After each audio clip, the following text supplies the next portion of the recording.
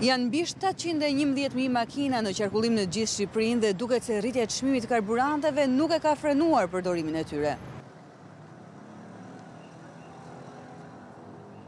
Njëzet për qind e tyre janë importuar gjatë tre viteve të fundit, kryesisht nga Gjermania dhe Italia. Edhe gjatë viteve të pandemisë, importi u rrit.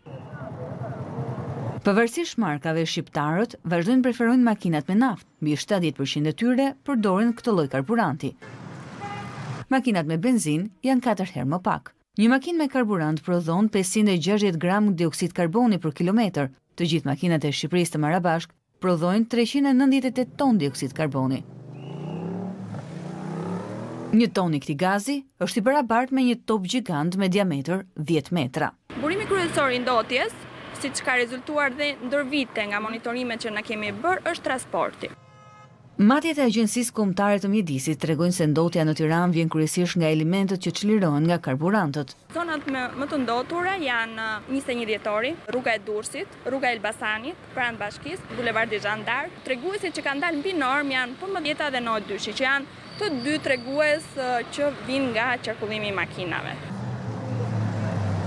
Pavarësisht markave të shtrenjta, mbi gjashtëdhjetë për qind e makinave që qarkullojnë në vend janë prodhuar para vitit dy mijë e pesë, vetëm katër për qind janë prodhuar në shtatë vitet e fundit.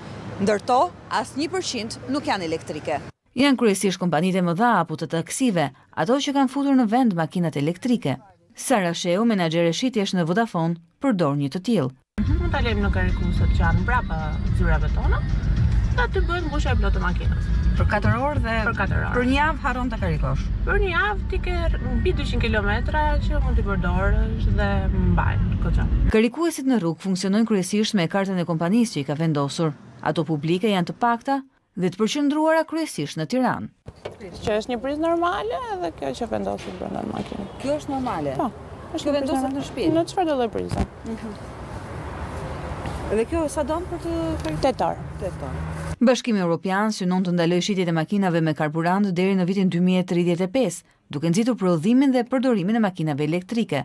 Ndërkohë që shitja e tyre njohu rekord gjatë vitit të shkuar, a do t'i bashkohen dhe shqiptarët kësaj mode?